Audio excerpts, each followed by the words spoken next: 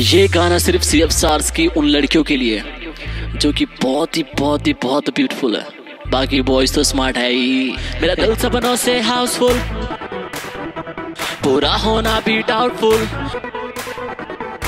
this is the party song क्या हाल है छोरियो?